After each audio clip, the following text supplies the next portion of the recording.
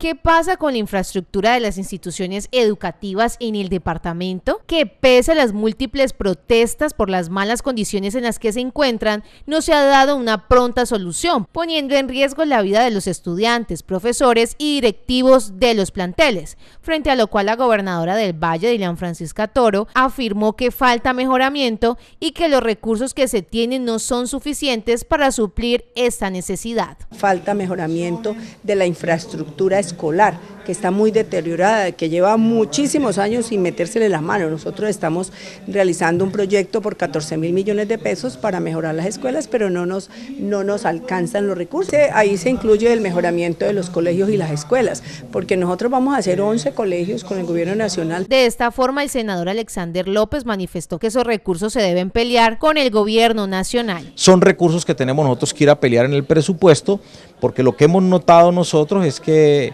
comparativamente en los últimos cuatro años del gobierno de Santos eh, con otras regiones, al Valle del Cauca y especialmente a Cali, eh, no ha sido equitativo la distribución de recursos. Por tanto, este requerimiento fue incluido en el contrato Paz para que cada año reciban los recursos pertinentes para el mejoramiento de las escuelas.